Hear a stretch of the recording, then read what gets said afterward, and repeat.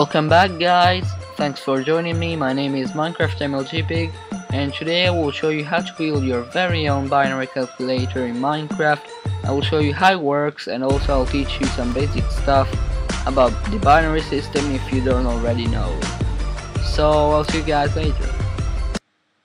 Binary numbers are just another way of counting, for example 1, 2, 3, obviously it's a little bit different, but the concept is this. Uh, it's used in computers and softwares and stuff like that. So if you mess up with those, you'll always find by ones and zeros. Uh, yeah, because the binary number is just formed by uh, binary numbers are just formed by ones and zeros. And uh, yeah, again, ones and zeros you will find them everywhere if you're messing up with computer stuff because um, because uh, they can mean a lot of things. They're not just another way of counting. For example, uh, also in redstone you use them uh, to indicate uh, redstone stuff that's on or off. For example, this redstone lamp right now I will give it a 1 because it's on, while here it's a uh, it's a 0 because it's off.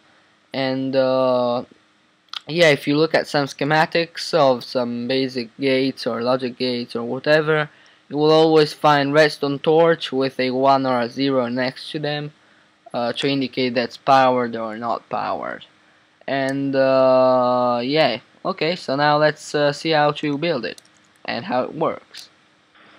Basically a binary calculator in Minecraft is formed by this cell or unit uh, and uh, this unit itself is a calculator but it's not really powerful. It can get only to 3 uh, so it's not a lot but if you put more of these uh, next to each other uh, it will be more powerful. For example once I built one that had 50 of these next to each other and it reached uh, 3 millions. So yeah so it's a pretty good calculator.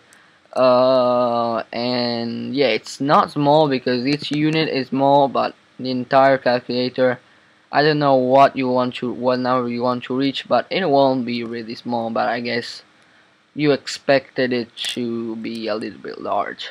So now let's see how each uh, cell works. Basically, each cell has uh, three inputs. Oops, one there, one there, and one there. Uh, this input here, you will find it only on the first cell. Uh, from the second cell on, you will just have a line of redstone going in here that will connect the different cells. So as you um, as I told you, this cell here reaches only the number 3. So as you can imagine, each lever uh, is uh, has a value of 1. Now, uh, in this case, we have two outputs again from the second cell on, since we use this output here to connect it to the next. We'll have it. Uh, we'll have only one output, but I'll show you that later when we'll build it. So, let me just grab a sign. Two, Actually, yeah, I'll put it next to the other so you guys can see better. Uh, also, a really important thing to know when you're building stuff like this is that you count from the right to the left.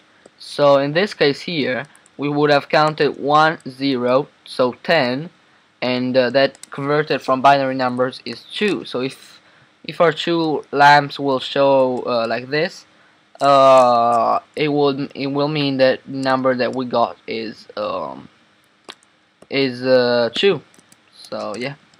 We can also put uh, what am I writing? You can also put uh, normal numbers here. Just to make it easier I'll put them so you guys can see. Again if we flip any lever uh, it, its value is of 1 so it will light up the first one. And 1 in binary numbers is also 1 in real life as I just told you so that's the only number that's the same uh, then, how to light up the second one? Well, we simply flip two levers. This will be 1 plus 1. So obviously it makes 2. And again, the uh, redstone torch with the number 2 on is light up. Uh, and as we just said there, uh, since you come from the right to the left, this will be 1, 0, which is 2 also in real life. Uh, so yeah, if you, if you build a calculator like this, you wouldn't have the signs on here so you would have to say uh, you would have to do 1 0 10 which is 2 then uh, if uh, we flip the other lever on it gives uh, both uh, it turns both on. Um, and that means that, that it's 2 plus 1 which is 3 uh, but obviously you still have to do a calculation which is pretty lame. But if you just get rid of the signs you just see that it's 11 because both are on and so it's free. So you don't have to do any calculation. So it's it's a pretty efficient calculator. Uh, now I'll show you how to build them and how to hook them up uh, how to connect them and uh, yeah. See you guys later. So I guess we'll build it. So we'll start with two blocks like this gap other two blocks. Block here in the middle two blocks like that. Block block block block. You'll view it from here so it's sort of an R uh, I guess. Block there on the first block then two torches on the inside torches on the inside again torch there so it's uh, symmetrical. Now torch there on the first block torch there torch there and torch there. And that's it for the torches. Now you place redstone on every block that you can place it on so every block that's free uh, then you place a row of three here that sort of crosses the entire circuit. Uh, blocks on the row of dust we just placed. Uh, blocks on these uh, first torches. Uh, come left uh, come to the left one then block on that torch block on that torch. Torch there in the gap, torch there, two pieces of redstone dust there, two torches there, come up two blocks, delete the first block, uh, redstone dust there and a block there so it doesn't interfere. And uh, this is your output and uh, yeah that's it. So uh, your two inputs obviously are here and here. And um, yeah let's just show you how to hook them up. Basically uh, let's sort of imagine this is our first cell. As you can see it has all three inputs. And this is our second cell which will have only two inputs. And also and also the third will have only two inputs and so on. Basically we simply oops connect it like this. And uh, that's it. So it's not really hard. Then when you get to the last cell um, uh, instead of hooking up, hooking it up to the air or something like that, I don't know. Uh, this will be your another output, but only when you've reached the last cell. For example, if now I wanted to build a calculator with two cells, well, this would be it basically. And I would drag this wire here uh, to make a uh, to make another um, output. So now let's just see how they work together.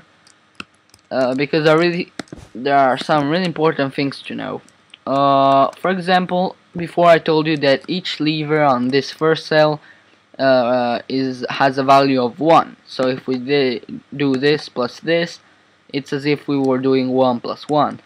Basically, it doesn't work like this um, with uh, with these other levers because this is value has a value of 2 and uh, well yeah each each each lever here has a value of 2 so if we do this plus this we would be doing 2 plus 2 and so on because on the third cell if we wanted to add a, third a third cell we would add or we would have that each lever uh, has a value of uh, 4 then 8 then 16 32 64 128 256 and so on um, so you would uh, get really quickly to high numbers which is cool.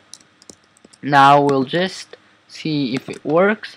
So basically I'll do I don't know 2 plus 1 should be 3 indeed it's 11 so it's 3 um, then I don't know we'll do 3 plus 2 which is 5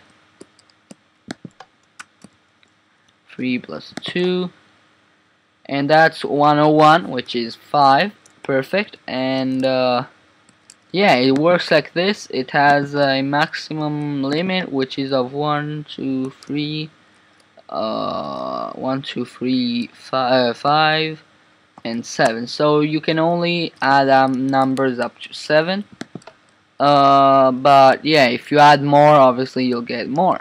And uh, well this is basically it. And I'll see you guys later